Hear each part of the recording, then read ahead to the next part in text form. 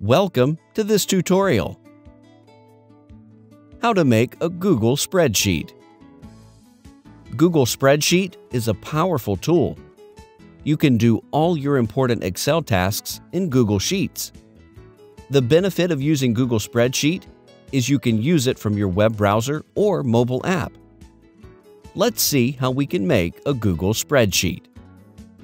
Type docs.google.com forward slash spreadsheets in your web browser and press Enter key on your keyboard. If you have not logged in to your Google account, then type your email in the email box and click on the Next button.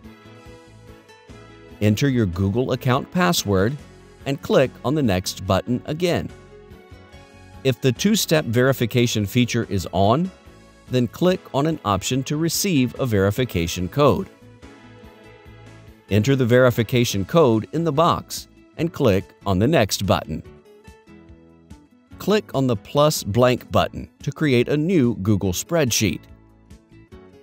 Let's do some work on this Google Sheet as we do in Excel by using some functions and tools. At the top, you will see the name of this spreadsheet as an untitled spreadsheet. Let's rename it, as I'm giving the name Pending Payment to this Google spreadsheet.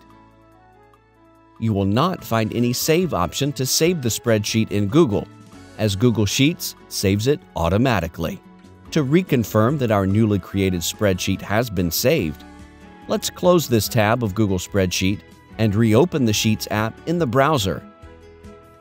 You will notice that our spreadsheet of pending payment is shown here. Let's click on this name to open it. See, Google has saved our entire work automatically in this spreadsheet. Wasn't that quick and easy? Thanks for watching. Please subscribe to our channel.